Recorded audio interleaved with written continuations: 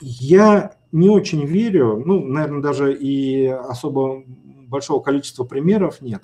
Я не очень верю в, в идеи одиночек.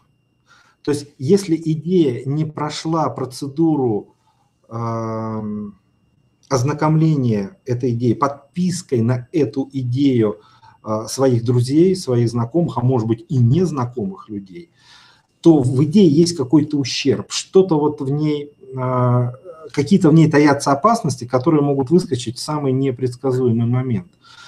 Э, и с другой стороны, у авторов, которые не прошли вот эту процедуру шаринга идеи между своими потенциальными партнерами, у них, э, вероятно, не сформировалось вот этого навыка, вот этого вот э, умения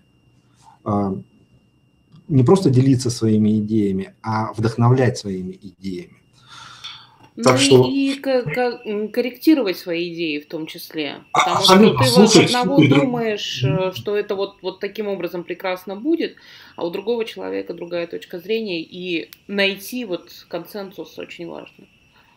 Да, э, я абсолютно с этим согласен. Более того, если мы посмотрим э, уже навязшие, там, набившие оскомину Э, истории самых крупных стартапов в, ну, в современном мире, то в, в начале почти всех этих историй лежит э, такое действие, что некто очень толковый и одаренный приходит и говорит, парни или там девчата, а давайте сделаем это.